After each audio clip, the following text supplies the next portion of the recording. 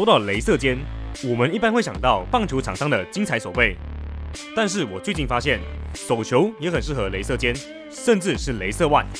超强的臂力和起跳的爆发力，让他们能将球速投出一百多公里，真的是镭射炮满天飞。今天就让我们聊聊手球，还有这项运动的王者，来自丹麦的 m i k e l Hansen。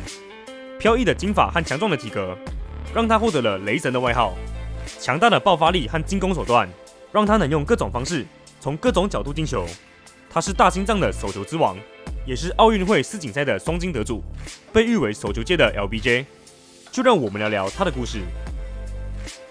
一九八七年十月二十二日 m i k e l 出生在丹麦的赫尔辛格。他的父亲是丹麦手球国手，曾经参加过一九八四年的奥运会。而丹麦不只是手球的发源地，也是世界知名的手球大国。手球在国内的热度仅次于足球，联赛和国家队的体系也很成熟。丹麦的女子手球曾经完成奥运会的三连霸，不过男子手球在奥运会上却是一冠难求。直到 m i k e l 的出现，改变了这个困境。在家人的指导下 m i k e l 在很小的时候就开始练习手球，并加入了当地的俱乐部。靠着天赋加上努力，他很快被签入职业俱乐部，加入飞鹰岛的老牌强队 GOG。在场上的七个球员中 m i k e l 的位置是左边四十五度角的左内锋，主要负责球队的得分任务。靠着远射和突破获取分数，一般由高大的右撇子担任。而米 Q 十八岁的时候就成了队内的主要得分手，靠着手肘和手腕的控制，多次上演精彩的射门，并帮助球队拿下全国冠军。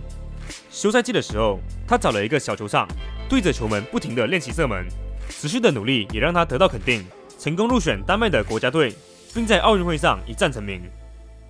二零零八年北京奥运。丹麦因为早早输给韩国，面临了小组无法出线的危机。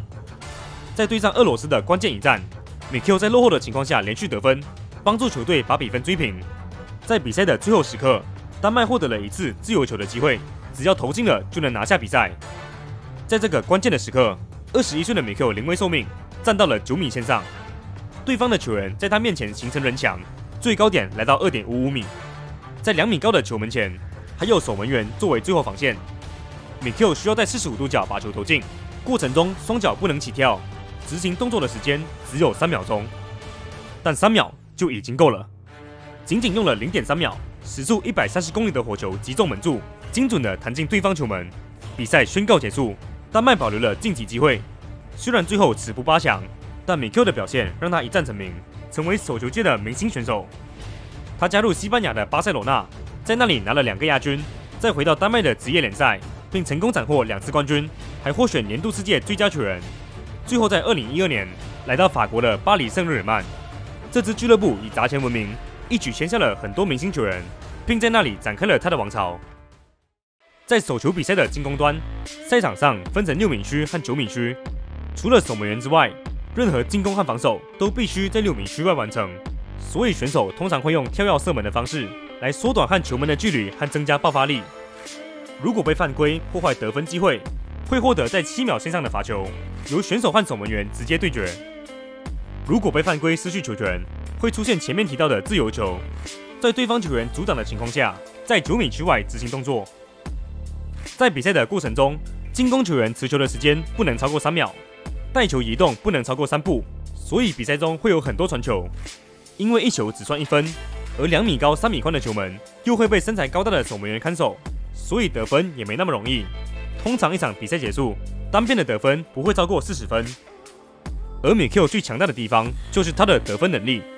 他身高一百九十二公分，体重九十三公斤，强大的臂力让他能像大炮一样，在中远距离跳跃射门，射出暴力的镭射炮，最快的球速超过一百三十公里。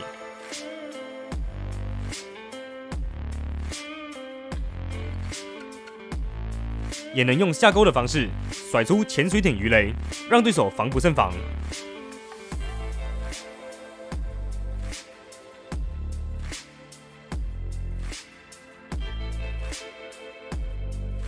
或是突破到近距离骗出守门员后，用极地的内旋球反弹射门。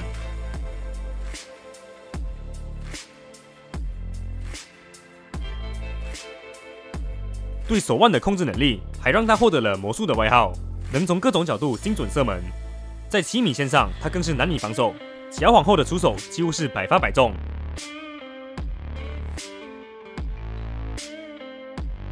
而当初让他一战成名的自由球，他也用实力证明了那绝对不是巧合，一次又一次的重演精彩画面。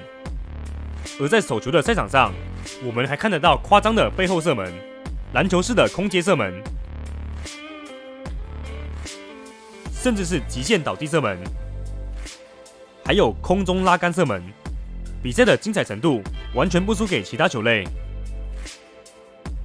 在米 Q 的带领下，PSG 开季就成功封王，并签下法国传奇选手 Nikola Karabatic。强强联手的组合让他们称霸法甲联赛，拿下十年内的九个冠军。其中米 Q 连续两年射进两百球，成为联赛的神射手，并多次带领球队杀进欧冠联赛。可惜总是棋差一招，最好的成绩是斩获亚军。要成功拼下一次冠军，也成了他最大的目标。在国家队的赛场，米 Q 扛起了进攻大旗，在多场比赛成为赛事神射手。可惜球队的成绩还是没有进步。世锦赛上，他们两次杀进决赛，但接连败给法国和西班牙。在伦敦奥运会上也止步八强，唯一的大赛金牌是欧锦赛的冠军。一直到二零一六年里约奥运会，二十九岁的米 Q 领军丹麦，带领球队一直杀到了冠军赛。面对奥运会二连霸，由队友卡拉巴蒂斯带领的法国队，，Mikio 射进全场最多的八球，带领球队以二八比二六赢下冠军，斩获丹麦队史上第一枚金牌。而他本人也获选赛事 MVP、赛事最佳左内锋，还以五十四颗进球在射手榜上排名第二，表现堪称完美。丹麦队的荣耀还没有结束，二零一九年和二零二一年，他们连续两次拿下世锦赛冠军，美 Q 也斩获了两次 MVP。并获选三次世界最佳球员。奥人的成绩和表现让他被叫做手球之王，甚至被很多人认为是手球界的历史最佳。赛场下的美 Q 以努力闻名，不停地精进自己的技术。就算被叫做手球第一人，他却依然的在持续进步，丰富自己的球商和武器库，还练出了出色的传球技巧，让他能更有效地帮助球队。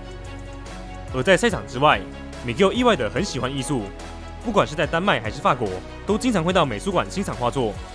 而来到巴黎这个艺术之都，他更是被这里的文化影响，沉浸在艺术的氛围之中，和他粗犷的形象形成强烈对比。